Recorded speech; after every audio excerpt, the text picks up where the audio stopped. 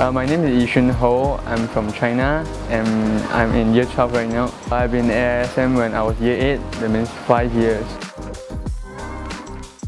When I joined the IESC class, uh, we have the same challenge. Students from different country, maybe you will feel like a bit nervous or you are different other people. The teacher very take care of us. Anything you don't understand, just ask him. So just keep focus on it and we can improve a lot.